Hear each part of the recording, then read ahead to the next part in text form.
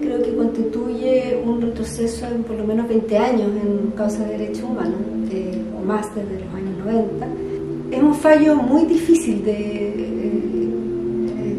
para los familiares de las víctimas, para los testimoniantes, para quienes han acompañado a, a los familiares, a la organización de derechos humanos, porque después de 40 años deja en libertad y absuelve a una importante cantidad de perpetradores, absorbe casi a 60 gente y a los pocos que eh, establece responsabilidad eh, les rebaja las penas y los deja con penas que en definitiva van a eh, cumplir en libertad. Y la fundamentación de esa absolución tiene que ver que ocupaban,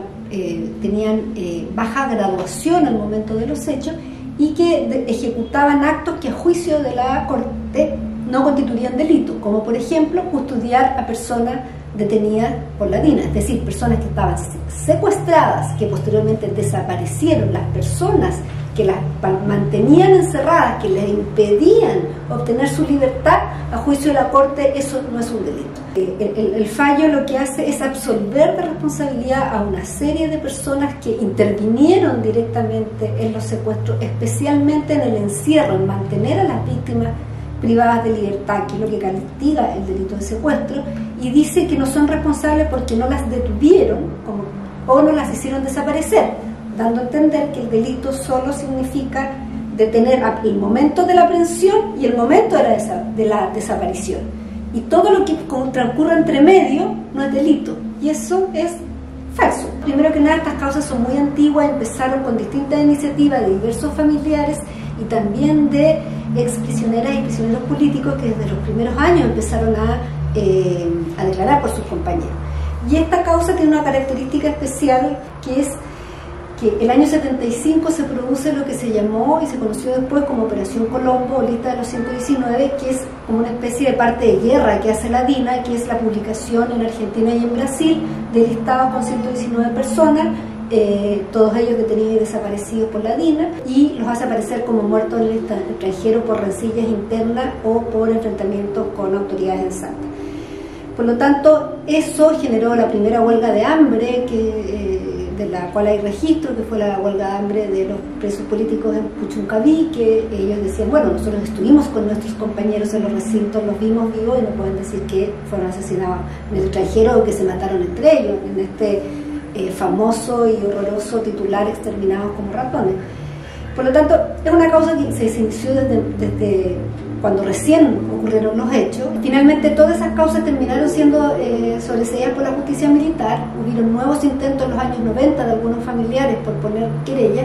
pero los ministros fueron separando distintos cuadernos con víctimas individuales, porque eh, había una tendencia de, de los jueces a investigar las causas por separado. Sin embargo, se logró que 16 víctimas eh, permanecieran unidas en lo que se llamó el cuaderno principal o el cuaderno AEDO. Y esta, este cuaderno AEDO o cuaderno principal es, lo que, la, es la sentencia que hoy día estamos comentando.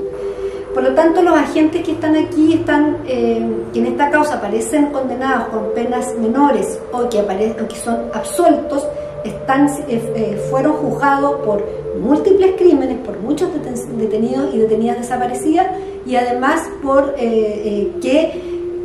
que, pasaron por los distintos recintos de eh, detención y tortura de la, de la Dirección de Inteligencia Nacional. Por lo tanto, también es un retroceso en el sentido de entender que estamos frente a delitos de lesa humanidad y que estos delitos de lesa humanidad no son delitos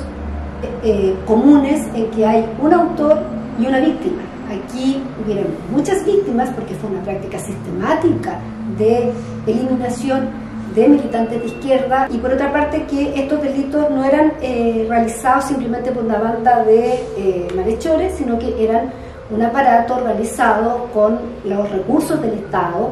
con muchísimos agentes con, eh, y que además podían actuar al margen de toda la legalidad y completa impunidad en la época